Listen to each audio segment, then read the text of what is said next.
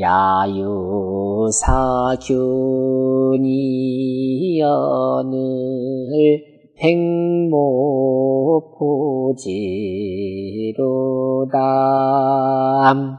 유녀휘춘이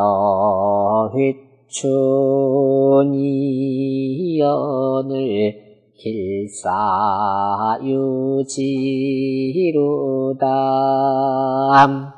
흥야라 규는 장년이 녹속이며 무각이람 회추는 당춘이 유회야라 길사는 유미사야람 남국이 피문왕지화얌 여자의 유청결 자수하야 불이 강포소자람 고로 시인이 인소견하얌 이흥기사이미지람 호괄부야니 언비사이 이 백모로 포기사균하야 이요회 춘지여야라 하니람 이묘 복속하며 야유사록이연을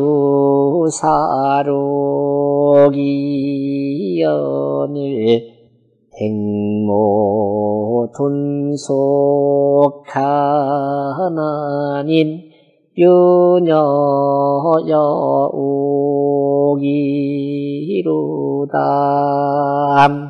흥야라 복속은 소목야람 녹은 수명이니 유각이람 돈속은 유포지야람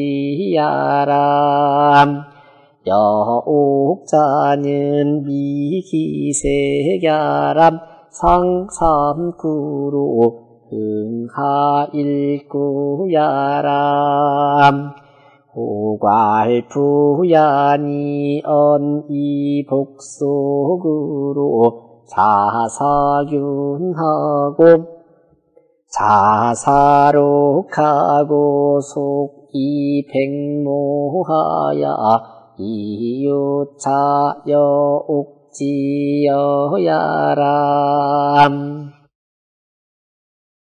서이 태태하야 무감아세하며 우사방야패하람 후야라서는 지완야옴 태태는 서완무라 가문 동이요 세는 건이람 방음개 견야람 자장은 내술 여자 거지지사라 언고 서서 이래하야 무동아지세하며 무경아지견이라님 이심원 기 불능상급변이 기느면 불가 범지의를 개가견의람 야유사균 삼장이람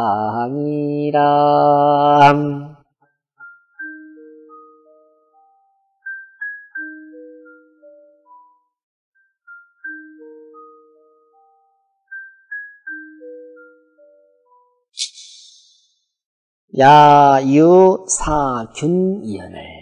균자는 노루 노루 균자예요. 저 들판에 죽은 노루가 있거늘 백모 포지로다. 흰 띠로 포지 있어 감쌌다 덮어줬다 덮었다 유녀 회춘이어늘 어떤 여인이 휘춘이연을 시집갈 생각을 하고 있거나 그게 휘춘이에요. 봄을 그리워한다 그 말은 봄철이 아까처럼 봄이 되면 시집을 가고 싶거든요. 길사 유지로다. 저 좋은 선비가 꼬시는구나. 일유자니까. 흥야라 균은 장년이 누르니 어, 녹속이며 무각이라. 사슴의 종류며 뿔이 없다 말이죠. 휘춘은 우리 휘춘이라고 할때 휘춘이라는 말은 당춘이 유회라. 봄을 당하여 생각이 있는 거다. 근데 사실은 시집을 가고 싶은 생각을 품고 있는 거예요. 거기 또 잔주를 잠깐 하나 볼게요. 화곡 엄시왈 춘자는 천지 교감하여 만물 자생지시니 봄이라는 것은 하늘과 땅이 교감하여 서로 감흥이 있어서 만물 자생지시니 만물 모든 생명 생명체가 자생 자생이라는 것은 그 자꾸 번식돼 가는 거죠. 번식하는 시기니.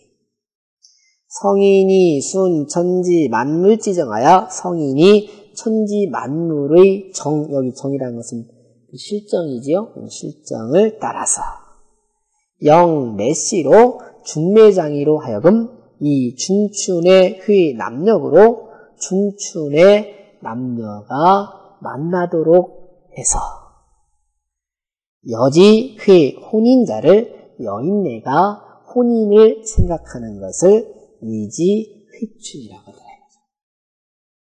무슨 얘기 아시겠죠? 그러니까 음력 2월 달에 남녀를 이렇게 만나게 해서 3월 달 복숭아 꽃이 필 무렵에 시집을 가는 게 시기적으로 맞는다. 그런 얘기죠. 길사는 유 미사야라 길사라는 것은 아름다운 선비다라고 말한 것과 같다 이거죠. 거기 잔주 하나만 더 보고 갈게요. 어, 수계 일시왈 칭기인 후대 왈 길사라 하니 후야며 우 괴지하라. 그 사람을 일컫기를 좋은 선비다라고 시에 썼잖아요. 그러니 참 두텁게 후하게 썼기도 했다. 그렇지만 또 괴지하라. 또 부끄럽게 여긴 거예요. 왜 그렇죠? 정정당당하게 길사는 준매쟁이를 통해서 하는데 여기는 뭐죠? 휘춘자인데 길사가 꼬시러 다니는 거예요. 그걸 가지고 이렇게 시에서 말한 거죠. 이게 여기 시를 보면 별거 아닌 것 같잖아요. 유녀 휘춘이언을 길사유지라. 참 훌륭한 선비가 증매쟁이를 통해서 뭐 한다든지 그렇게 쓰면 이게 문제가 없는데 길사유지로다.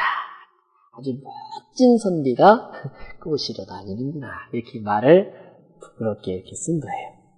그러니까 휘춘한다 할 때 그 휘춘은 돌아올 휘자일 거예요. 그죠? 돌아올 휘자, 휘춘이라는 건 뭐냐면 사실은 이게 봄이 되면 이렇게 모든 생명체가 왕성하게 나오는 그때인데 연세가 드시면 점점 사실은 여기 말한 대로 자생하는 능력이 없어지잖아요. 어떻게 보면 생식 기능이 떨어지는 거죠. 그거를 다시 돌려주는 거를 일반적으로 휘춘이라고 하죠. 그러나 여기는 휘춘이라는 것은 품을 회자 봄춘자라서 봄날을 생각한다. 즉 시집갈 것을 생각한다. 그런 말이에요.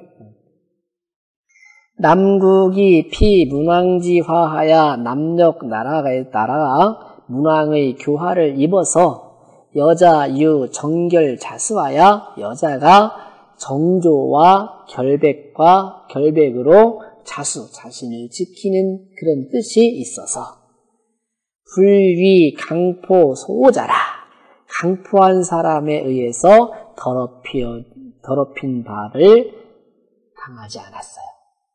이 사실은 여기 길사라는 것은 꼬시러 왔으니까 와서 여자를 훔쳐가려고 하거나 겁탈을 하려고 하거나 이런 상황인데도 거기서 당하지 않았단 말이죠. 고로 그래서 시인이 인소견하야 이 흥기사의 미지라 시인이 보는 바로 인해서 보이는 바로 인해서 들판에 사슴 죽은 걸 보고서 이흥기사의 그 일을 일으켜서 아름답게 여긴 거란 말이죠.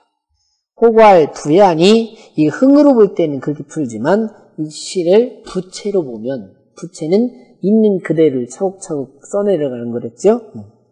혹자가 말하기를 부채니 언미사 말하되 저 아름다운 선비가 이 백모로 포기 사균하야 이유 해춘지 여야라 하니라.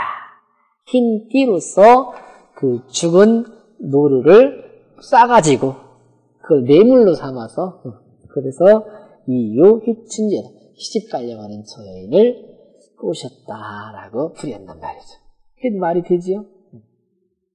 흥으로 하면은 이렇게 아까 말한 대로 은근히 이렇게 빗대어서 그 사람을 이렇게 책망하는 걸로 풀이하는 거고 부채로 보면은 인 그대로. 풀이하는 거죠. 임유 복숙하며 야유 사록이연을. 숲에는 자디 자른 나무들이 더부룩하게 있고 야유 사록이연을. 들에는 죽은 사슴이 있거늘. 행모 돈속 가라니 흰띠로서 돈속 묶어주나니. 유녀 여옥이로다. 여인이 옥과 같이 아주 좋은 피부를 가지고 있구나. 다시 말하면 아리따운 여인이 여기에 있구나. 볼 수 있는 거죠. 흑야라 복속은 음, 소무개나 작은 나무들이다 이거죠 녹은 수명이니 녹이라는 것은 짐승의 이름이니 유각이라 사슴 뿔이 있죠. 돈속은 이걸 순자로 안 읽고 돈으로 읽는다는 얘기죠. 돈속은 유포지아라 이렇게 포장하는 거예요. 여 옥자는 옥과 같다라고 표현한 말은 미기세계라 그 얼굴빛이 그렇게 예쁘다 잘생겼다 미녀다 그런 말이에요. 상, 삼구로 흥, 하, 일구야라 흥이라고 볼 때는 임유, 복속, 야유, 사록, 백모, 돈속, 으로써 밑에 있는 유너, 여옥 그렇게 흥을 한 거다 이거죠.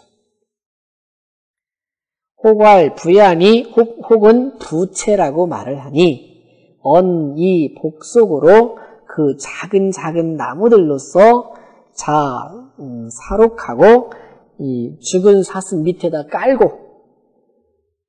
무슨 얘기 아시죠? 죽은 짐승을 쌀려면 작은 나무들을 잘라다가 바닥에다 이렇게 깔고 속이 백모아야 흰 띠로 묶어서 이유 여 어, 이유 차 여옥지여라 저 옥처럼 아름다운 여인을 꼬셨다라고 풀이한단 말이죠.